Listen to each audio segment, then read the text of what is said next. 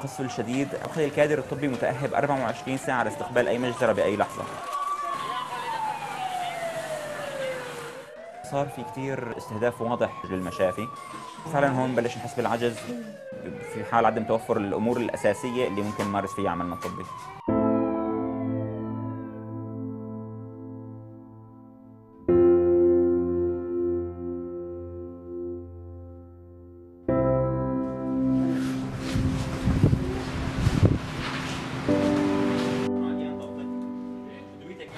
هلا هي رحلة خطرة أكيد.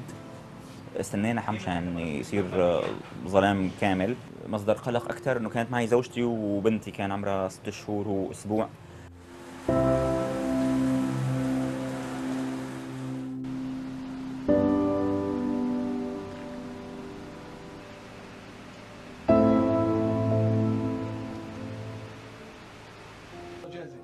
فهو كابوس جدا على على على الجميع على المدنيين. آه، على الكادر الطبي اللي هو مثل ما حكينا إنه معرض للاستهداف بأي لحظة.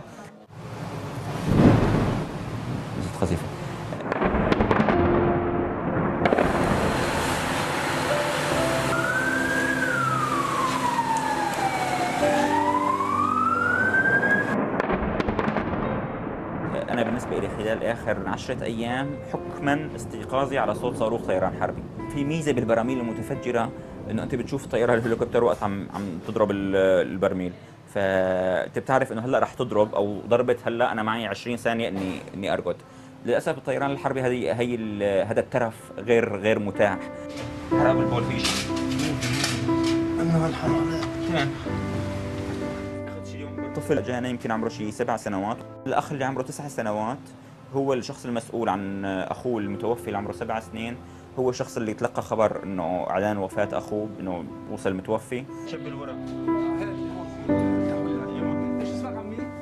آه، شعور بالنصر إنه قدرت أعدي هذا اليوم على قيد الحياة. الشعور الثاني في شعور بالخوف والقلق إنه يا رب أفيق.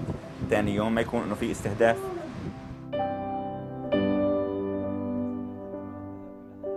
لا أكيد لا. كل شخص هو مهم نقوي بعضنا فمشان هيك دخلت مشي على الأقدام في حال تكرر الوضع رح أرجع أعيد نفس الشيء.